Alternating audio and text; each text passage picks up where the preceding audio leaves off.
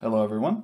So, this week is a kind of big week. We're finishing off Chapter 5 with Section 5.5 here, where we are looking at things called trigonometric equations. And this is probably the most computationally dense section of this unit. It's one of the more computationally dense sections of this entire class, where we're looking at things in terms of having just one trig function, or things with multiple angles, or things in special forms. You have to use identities and factoring, and even things where you might have to use a calculator to get your answer, because these are not going to be simple all the time. I'll try to keep us to the more manageable cases for the most part. That's what I'll lean towards for, well, that, that other thing we've got this week. But know that these can get pretty involved, so take your time going through here. It's kind of good that this one's off on its own a little bit.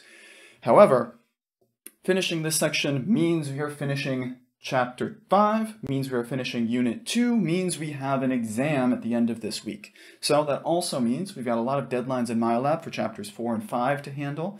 So be prepared, get that stuff done as best you can, along with a study guide to help you prepare for that exam. I think it's really important you look at this one because there's just so much you can do with this trig stuff. It's really good to know what I think is most important here.